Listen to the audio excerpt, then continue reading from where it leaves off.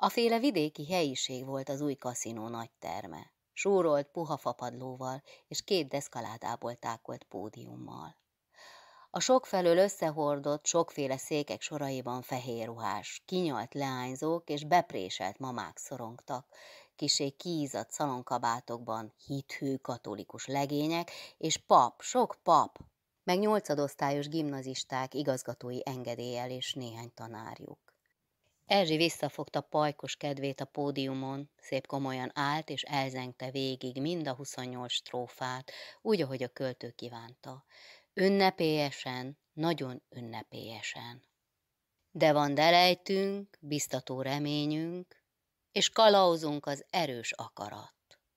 Fejezte be, mert hisz mindennek vége szakad egyszer, és nagyon örült, hogy egy strófát sem hagyott ki, sem össze nem cserélte. Bár fótkáplánt kivéve senki sem vette volna észre, és nem fájlalta volna. Aztán következett egy Haydn vonós négyes. Hetedosztályú tanulók adták elő a hegedű tanárjukkal. A legkényesebb műízlést is kielégíthette volna, írta másnap a püspöki nyomda újságja. Majd a helyi szintársulat dívája monológot szavalt az izéről. Kis dubli aranykeresztet akasztott a nyakába ez alkalomra vékony láncon, és a szöveg pikáns helyeit fót tisztelendő, mint az új kaszinó titkára, bekarikázta neki nagy elővigyázattal.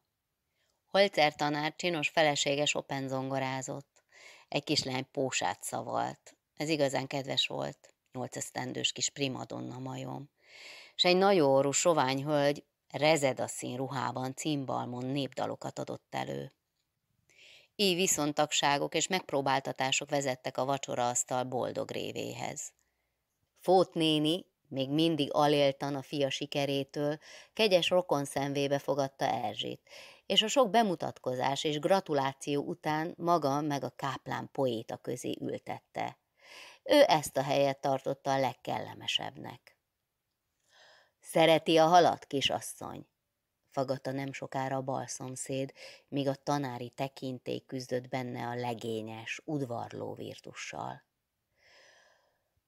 A szálkát nem szereti benne, ugye? De lássa, nincsen rózsatövés nélkül, és itt csak a bájos fiatal leányok kivételek. A halak közt tetszik érteni, tanár úr? Hova gondol maga hamis nyelvű? A rózsák közt. De persze csak úgy, ha a lelkük is szép, hófehér, tiszta. És jószagú. Unatkozott Erzsi, és arcához emelte a csokrát. De hiszen a tanár úr ismeri ezt a fajta rózsát. Kertésze neki, a leányok lelkének, nem? A hit és erkölcs tan tanár vagyok a képzőben, ezt gondolja? Ó, azért nem könnyű feladat ám ismerni a lány lelkeket. Egy költőnek? Ah, semmi kérem. És, és attól csak nehezebb, mert a költészet illúziókat táplál de ami a fiatal leányok bodros homloka mögött rejtőzik, az lerontja. Nem minden esetben, ezt nem mondtam, csak összezavarja, hisz mindent megtesznek szándékosan, kérem, hogy így legyen. Mennyi szeszély, kérem, micsoda szeszélyek? Nézzen csak önmagába. Először is én nem vagyok túlságosan fiatal leány. 22 éves múltam, tehát ki vagyok vénülve a szeszélyekből. Másodszor. Beszéljünk általánosságban, és a példákat ne vegyük a jelenlévőkről. Húzta vonta Erzsi a hiába való társalgást, mert mégiscsak eltökélt szándékai voltak vele. Van elég közös ismerősünk, a társnőim, velük jobban is el lehet bizonyítani az ilyen tételeket, mert csak ugyan, mint fiatalabbak három-négy évvel nálam. Szeretném tudni, kit tart köztünk a tanár úr szeszélyesnek. Ó, a példákért nem kell messzire menni, húzódozott a fiatal pap gyanakodva. Nagyon sok vétkes önfejűség van ám ezekben a teremtésekben, noha tagadhatatlanul sok báj és jóra való hajlandóság. Például az önök osztályában. A kis Pável Mari, ugye? Rukkolt elő Erzsi merészen.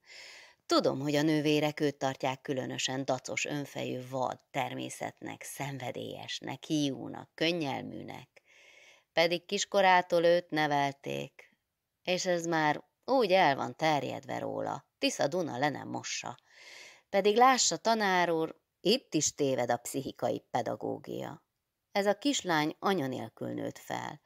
A morózus, öreges, özvegy papája egy zord, magános helyen él, egy csúnya kis állomáson.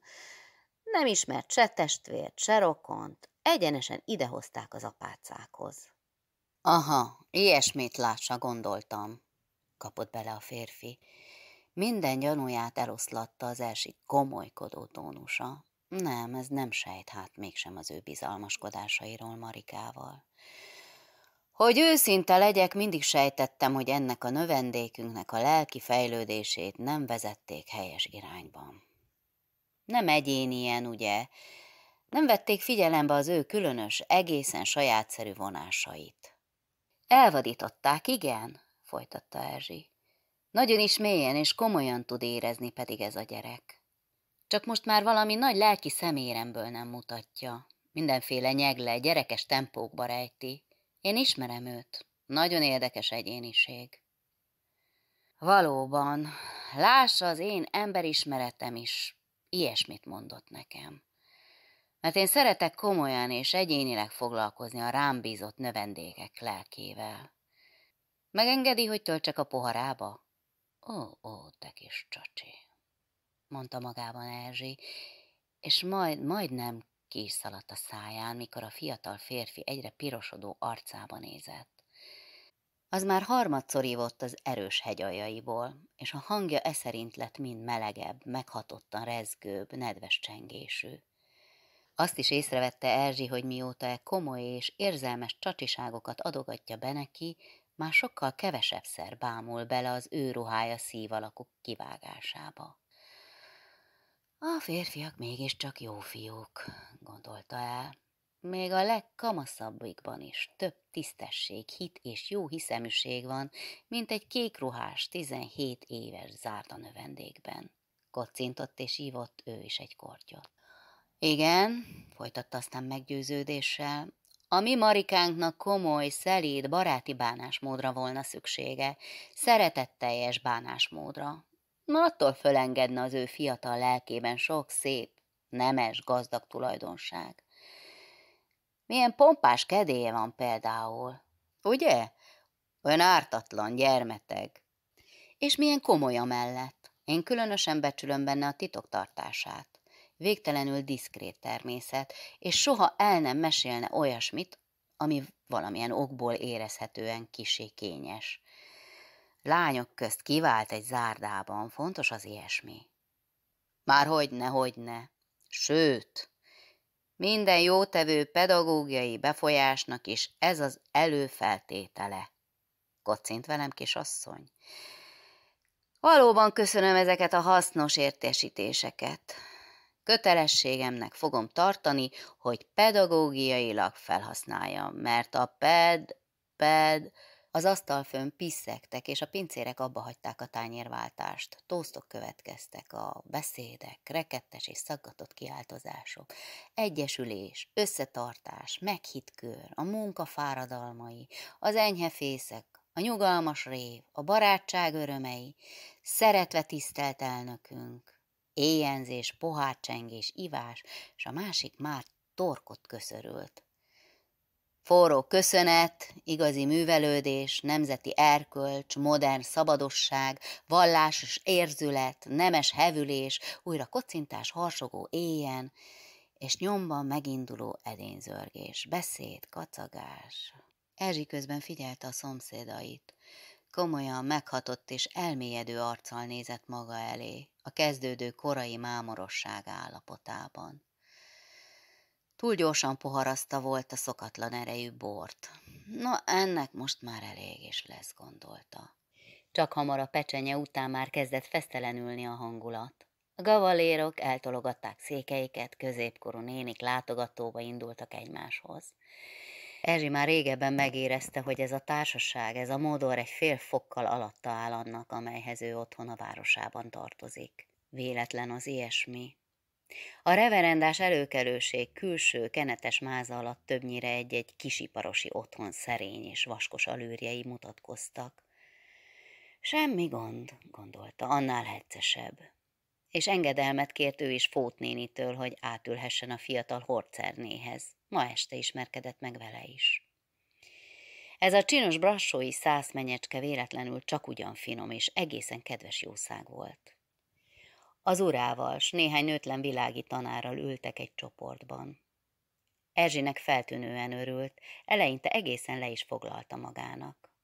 A tészta után már ott tartottak, ahová a leány mielőbb el akart jutni, közös barátnőjük a Gros Helénke ügyénél.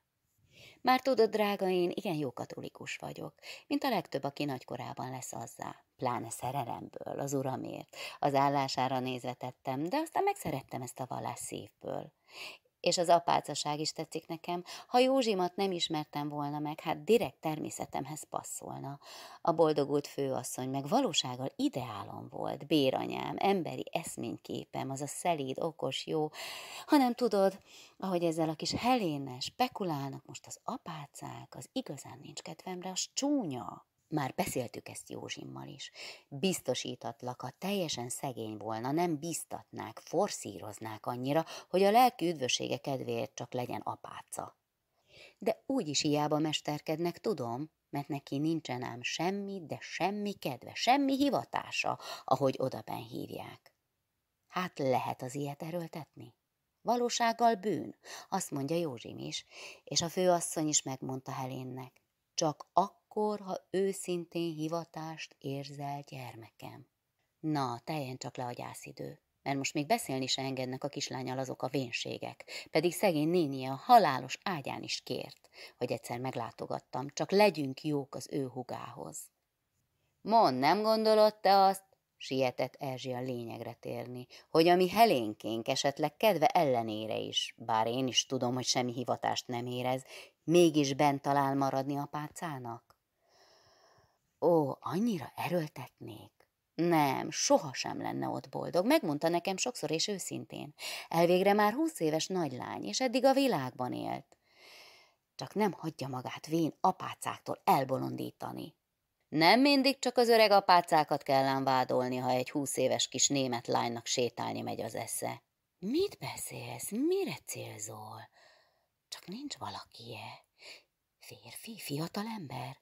Utóbbi időben én is furcsálottam a kislányt, bár velem nem volt ebben bizalmas, de jó szemem van az ilyesmihez. Még bajor földről hozott volna valakit a szívében? Nem feltétlenül bizonyos éppenséggel. Ne tréfáj! Hát mióta is van itt? Valami paptanárjába zavarodott volna bele? Feltétlenül bizonyos, hogy éppenséggel nem. Hallod, most már igazán ne viccelj. Ki nem járt sehova, csak mi hozzánk havonként egyszer. És nekem azt jó volna tudni, mert én, én ismerek egy derék jóra való komoly fiút, akiből épp a minap sikerült egy nagy diplomáciával kiszednem, hogy a kis Helént...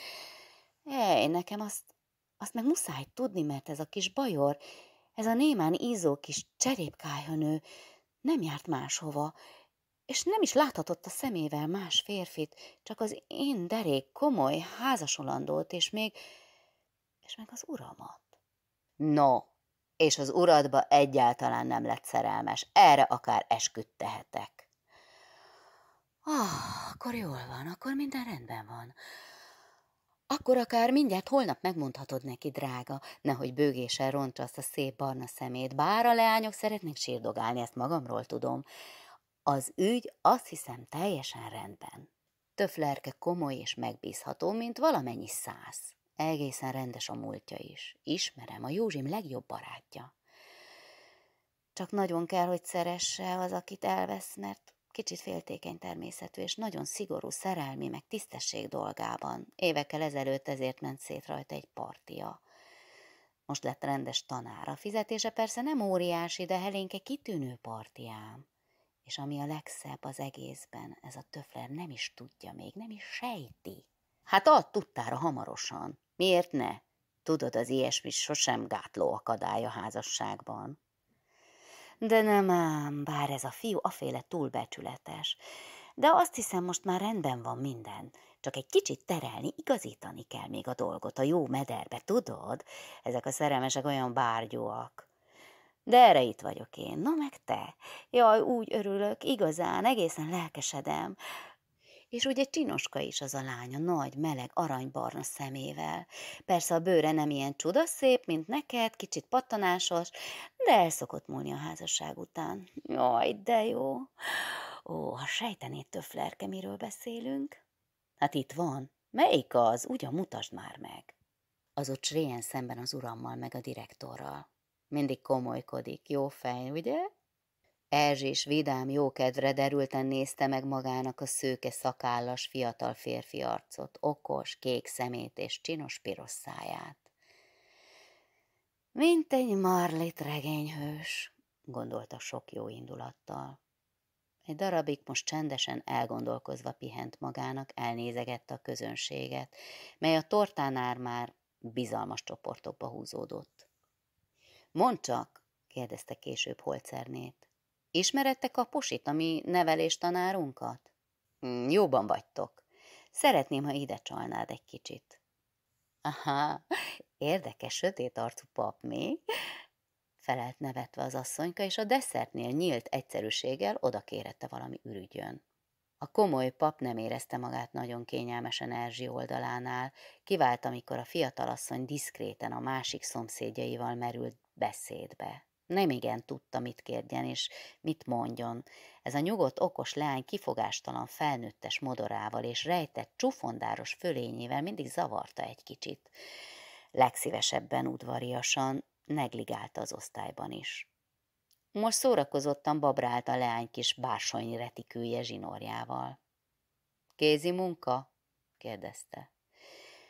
Igen, aféle tóthímzés, a mi vidékünkön csinálják megrázta egy kicsit. Oly szándékos ügyetlenül, hogy minden tartalma széthullott az asztalon. Hmm, egész kis csendélet, mormogta Kaposi az ő aszkétás fanyar humorával. Mennyi sok minden, tű, varrósejem, noteszkönyv, plajbász, pántlika. Hát, ez az összehajtogatott cédula mit titkot rejt? Azt ne, az tilos, kiáltott a lány, s utána kapott olyan gyerekes rémülettel, mintha nem is egy kivénült 22 éves nő, hanem kis polgárista lány volna. Micsoda, nem szabad nekem a tanárjának? Morcos kisfiús szája félszeg, kedves mosolyra húzódott, sötét, szomorú szemet csufondárosan és kérde nézett a lányra, míg tenyerét kinyújtva erősen leszorította az abroszhozott gyűrött kis cédulát. Ő nem ívott sokat a vacsoránál, de valamit mégis. Nem, azt nem szabad, nem lehet, folytatta Erzsi panaszosan és kérlelve. Ó, hogy is hagyhattam benne? Adja ide, kérem szépen, tanár úr. És ha nem adom, mondta most keményebben, és dacos szeme fellobbant. Okának kell lenni, hogy így megijesz, szinte reszket. Végre is jogom van, mint tanárjának. Mi ez, kisasszony, valami személyes dolog? Talán valami rám vonatkozó? Ó, nem, azaz, hogy tanár úr, én nem nagyon tudok füllenteni, de azt a papírt nem adhatom oda. Valami gyerekesség van rajta valószínűleg, és nem én írtam, véletlenül van a táskámban, de én nem kompromitálhatom egy társnőmet, nem csinálhatok másnak bajt. Végre itt nem csak tréfáról van szó, egyszerű kíváncsiságról. Ön, mint tanár akarja, és épp ezért nem lehet. Nem. Inkább skandalumot csinálok mindjárt. Inkább engem érjen akármi kellemetlenség. Hmm, szóval becsületkérdés, kollegialitás. Hmm, hát lányok közt is van ilyesmi, csak ugyan? Hát jó, egyelőre próbáljuk diplomáciai úton. Ha megígérem, hogy az írás miatt senkinek sem lesz kellemetlensége, hogy mondjuk nem mint tanár, pedagógiai érdeklődésből, hanem mint ember, csak ártatlan kíváncsiságból fogom elolvasni, akkor jaj, Istenem, az a legfőbb, most bevallom, hogy én nem is tudom tulajdonképpen mi van ráírva. Az osztályban, az órán, hisz Tudja, tanár úr, szoktak ilyennel a gyerekeskedni még a nagylányok is. Szédulát dobálnak, unatkoznak. Ezt Pável Marika küldtem a Szidónak, és én tréfából, rosszalkodásból elfogtam. Aztán nálam felejtődött. Úgy, mondta tanár, és a Marika nevénél mintha kisé elpirult volna. hisz akkor annál nyugodtabban nálam hagyhatja, ha a szöveget nem is ösmeri, tehát ünnepélyesen megígérem, hogy mint magánember fogom otthon elolvasni, mint gyakorlati pszichológus, jó? És hogy ennek semmi hivatalos következménye nem lesz. Megvan elégedve, kisasszony? Már zsebébe is gyűrte a kék kockás számtanírkalapot, furcsa kicsit ragadozó mozdulattal. Erzsi elcsendesült, úgy nézett ki, mint aki levert és aggodalmas. Pedig csak fáradt volt kicsit, és már teljesen készen, tehát nagyon unta itt már magát. Hát, mulatni éppen nem mulattam, de ez jobb is így, gondolta drága becsületességgel, hiszen én már nem vagyok szabad. És egy kis hec jó volt azért. Jó vacsorát adtak, és sok pocsék, ízléstelen ruhát láttam. Ő tudnélik nagyon is jól tudta, mi van azon a buta cédulán. Ez volt. Te, Szidu, mit szólsz ehhez a vén kamasz Erzsihez? Ez máma kimegy szoáréra, és anyányi bájaival agyon hódítja a mi papocskáinkat. A fene bele, csak legalább az én fótkámmal hagyna fel. Nem mintha féltékeny volnék, ugyan? És csak azóta mer vele kokettálni, mióta én haragszom vele, és nem szólok hozzá de már igazán kisbékülök legközelebb. Ő a legszebb férfi, és a természetünk egészen összeillő. Ezzel a mafla kaposival úgyis csak bosszúból kacérkodtam, de már halálosan unom. Majd fogok én neki örökké szenteskedni, mórikálni magam, adni a megértőt, a tudományos hajlamot. Már torkig elég volt, hagyom ennek a muja popeszkunak. Épp neki való hadd ábrándozzon rajta holdvilágnál, mind a vízig szárazon, és bőgjön titokban, nép nekivaló, egy olyan hülyének, aki még a szépségét sem tudja felhasználni, és nem mer az ideáljára még jól ránézni se. Választ kérek, szerbusz. Ez volt rajta. Erzsi nem is hitte magáról, hogy ilyen jó színésznő, hogy így könnyen fog sikerülni itt egy vacsora alatt szárazba tenni az egész világot. Örült, mikor Fót néni hazamenést intett. A papok nem ihattak éjfélen túl a másnapi mise miatt. Másnap még a reggeli órákban bement az árdába. Ezzel elhárította a Kunigund vihar főmérgét. Útközben mégis felszaladt a város főpostájára feladni néhány levelet. Volt közte a sajátja is. Posterestante Budapestre szóló. Volt egy ilyen című is. Ördögpál ügyvédjelölt úrnak, Debrecen. A gardróbba, míg átöltözött, Gizu szaladt be hozzá. Jaj, te, liegett, nagy újságok vannak ám azóta tegnap óta. Először is Gros Helénke felment este Bertoldához a novíciádba, és ma már fel is vette a jelölt gallért. Persze agyon bőgte magát ezen közbe, de Bertolda nem haragszik érte. Másodszor. Tegnap Február 20-án lejárt a gyászidő vürdigéért, és Amerikát, a drágicát ma már fekete kötő nélkül láttam. És azt mondják, a püspök úr mert kitűzte az új vürdige választás idejét. Április elején lesz valamikor, mert itt addig készülni kell annyi fiókházi vendég elfogadására, akik szavazni jönnek, és mind ide szállnak. Jaj, futok, már ordít az öreg. Az a buta Helén, az a töksi Helén, az a mafla Helén, ismételgette Erzsi, míg újra magára szedte a kék intézeti gúnyát.